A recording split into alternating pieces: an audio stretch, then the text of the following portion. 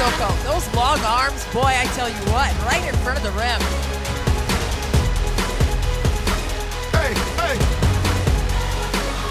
Yeah. Let's go, let's go. Come on.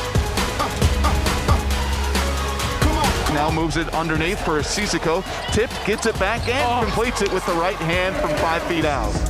Powell working. She makes a nice pass to Sissoko, and she just makes it look easy in the paint.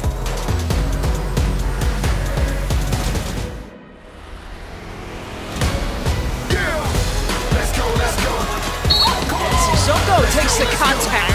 Sissoko with the board. She'll go up and in off the window.